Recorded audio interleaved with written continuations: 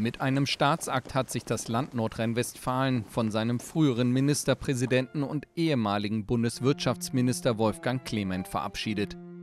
Der langjährige SPD-Politiker war Ende September im Alter von 80 Jahren in Bonn gestorben.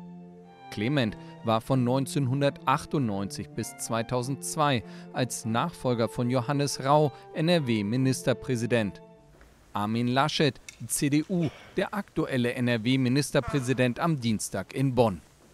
Ihn leitete der Grundsatz, dass soziale Gerechtigkeit und wirtschaftliche Stärke nicht Gegensätze sind, sondern zusammengehören. Und er hat wie kein anderer diese Prinzipien der sozialen Marktwirtschaft bis in die letzten Tage seines Lebens immer wieder, ja, fast gepredigt, immer wiederholt, immer wieder eindringlich in die Öffentlichkeit getragen.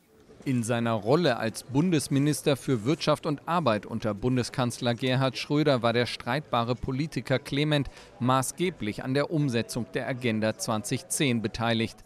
Er war bekannt als durchsetzungsstarker Pragmatiker und moderner Macher der Hartz-Reformen. Der frühere SPD-Chef Sigmar Gabriel. Mit Wolfgang Clement hat die SPD einen ihrer herausragenden und zugleich überzeugendsten Streiter für Freiheit, soziale Marktwirtschaft und wirtschaftlichen Wohlstand für so viele Menschen wie möglich in unserem Land verloren. Dass ihr das nicht richtig bewusst ist, gehört zur Tragik, an der Wolfgang stärker gelitten hat, als sich das viele der aktuellen Zeitgenossen vorstellen können. Denn das ist er seines Lebens auch ohne Parteibuch geblieben, ein Sozialdemokrat.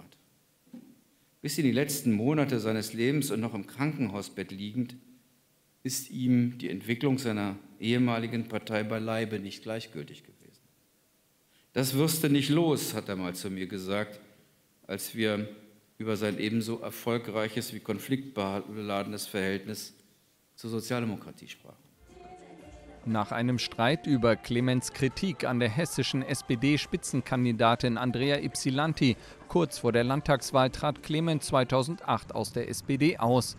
Zu der Trauerfeier am Dienstag in Bonn kamen zahlreiche Politiker und Weggefährten von Clement.